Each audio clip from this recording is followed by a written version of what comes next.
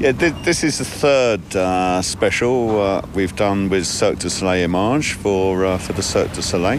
The first one, Quidam in Amsterdam, followed by Dralion in San Francisco.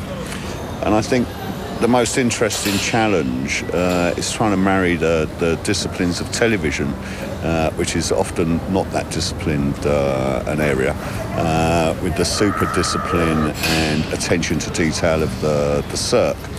And I think that's forced everybody involved to really raise their game uh, beyond their metal. Because hopefully, I hope that the four or five months of preparation should eventually be um, successful and we should be ready. But there's always last minute kind of thing, as you know.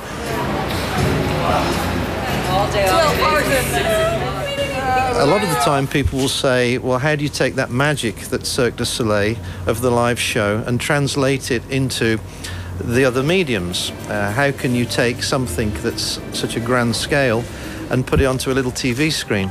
Well, the answer, of course, is we can't recreate that same magical experience, but what we can do is design something specifically for the medium and that audience. In the case of our television specials, uh, and hopefully you've just seen this one, uh, you'll see that we take our audience right to the heart of the performance. We're able to, to go with 13 cameras and more into the emotional expression of our artists.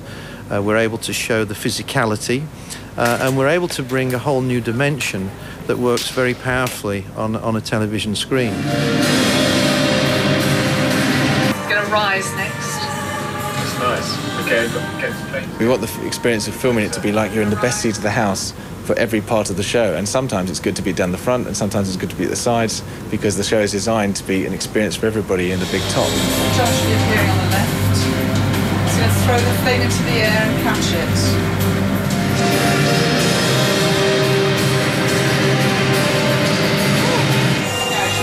There are two options. One to put 30 cameras in the show in one night, which would be a bit impractical and also would destroy the atmosphere. People would just be surrounded by cameras. So what we actually do is bring in a lesser number of cameras, 13 cameras in fact, and distribute them over a couple of nights. Let's get that nice detail.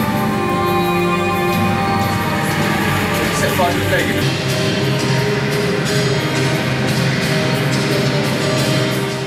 And uh, somehow, out of all this mixture of shots that you can see behind me, we create something that hopefully becomes a moving and dramatic experience to watch. And one of the major, major pain for a shoot like that is to control and manage box office. Uh, audience seatings because of the camera position, because of the extra lighting position. So uh, the the uh, the real challenge is to make sure that you have the director to get the perfect shot, but at the same time, we have to make sure that the customer who paid almost 100 bucks for their tickets are not going to be too annoyed by the presence of cameras uh, in the big top. And the Cirque are very concerned about that. If somebody's show is at all uh, being spoilt by cameras, they're seriously upset. So we've had to be very sensitive, and uh, in fact, we've you know dug holes in the ground to put the cameras rather than have the cameras in front of somebody.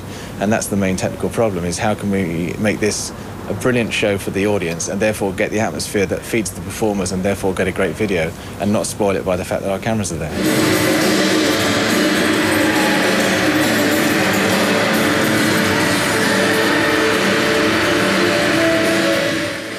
Getting everything ready, budgeting, scheduling, um, make sure that everybody on tour is aware of what we're doing, um, get their collaboration, which was in fact, very easy because they were all very, very enthusiastic. For the filming, we wanted to respect what we have in the show on a daily basis.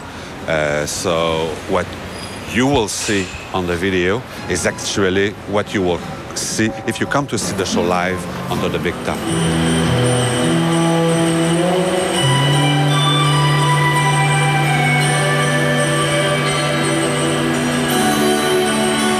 Alegria is one of our, I think it's the only touring show that has never been shot uh, for television or film.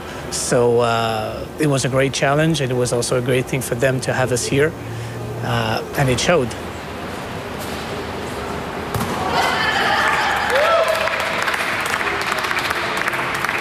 This is really good fun, you know, and we generally we do rock concerts, big rock concerts, and television shows, and some dance and some ballet. And And although it's always interesting working with different groups of people and going to foreign capital cities, this is so different for us. I do know that for most of the crew I bring from England on these, it's uh, probably the highlight of their year, uh, and they do live and breathe the Cirque. And it's a fascinating uh, exercise to see two different cultures come together. There's this whole childhood thing of running away and joining the circus and being in the big top and and uh, you know Luke says we've done this for three years now and we hope to keep on doing this no reason why we shouldn't do one of these a year for the next five years and it's a big high point for us for, for me certainly for the of the year you know to go off to some fabulous city and work with the circus for two weeks is very romantic well, logistically, yeah, it's just a matter of all the extra equipment that came onto the site, the extra generators that came on, all the loading of the equipment into the big top, and feeding of the extra people. So uh, we have our kitchen on site here, as you know, that feeds all of our staff. So we told the kitchen chef it's just going to be an extra 65 people for a few meals, so don't worry about it. Up or down? Both. Thank you. Uh, we have both. Ah, the film crew. The film crew's been very good to us. We've been dealing with the film crew, getting lights adjusted for the show. It's a little bit different for film than it is for live theater. We've gradually changed the lighting so that it's suitable for TV. We've gradually introduced the artists into the environment of what it's going to be like when they get filmed so they don't just walk in and suddenly there's five times more lights than there were before. We've brought the artists in during the day to see where the cameras are going to be in that evening so they can adjust their performance and not, and not suddenly have surprises. And the whole thing is very much a collaboration between the Cirque du Soleil and the TV crew. It's not, as it often is, a wham bam and it's all over and, and the people, the performers go, what was that all about?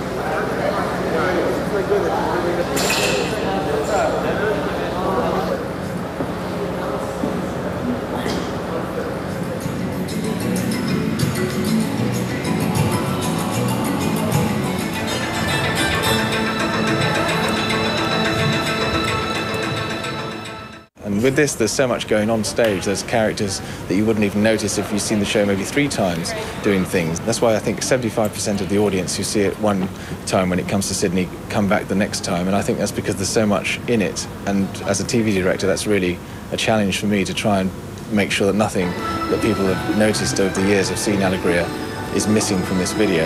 And that's why it has to be a collaboration.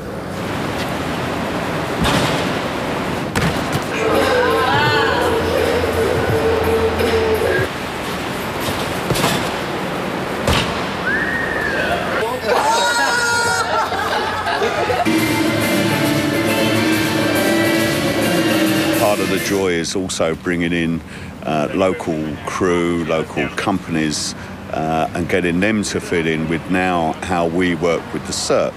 Uh, so far, Australia's been a, a, a, very pleasant experience, I have to say, with, with Super Cruise. TV cameras aren't as sensitive as the human eye. In the human eye, you come out from bright, sunny Sydney and you step into this dark tent, and the whole magic begins, and you sort of get used to the slightly dimmer lights and these characters with very strange clothes come out of the darkness and entertain you. Unfortunately, if you bring TV cameras in, it just turns into a dark experience, and that's no fault of the Cirques. They're, they're lighting for human eyes. You have a show that Luc created, a, a lighting design for the show, which is very beautiful and works perfectly for an audience of 2,000 people. But if you film the show, there are a whole different set of parameters that, that you have to take account of before you can have something that appears halfway decent on the television screen.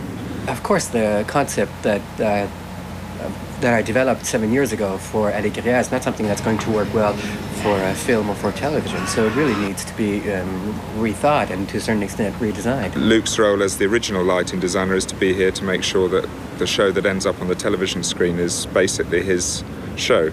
But like all kind of creative collaborations, although we have these quite specific responsibilities, the thing is very loose in the end, and often, you know, one of us will be making a suggestion as to how this works, and the other person will be. They call us the Teletubbies. We all sit here.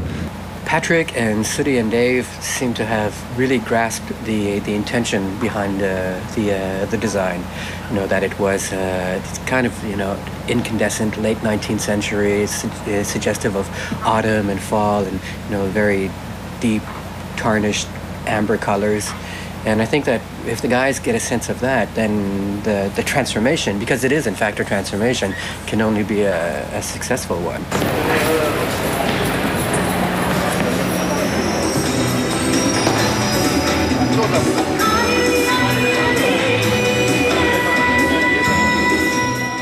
It's gone rather well.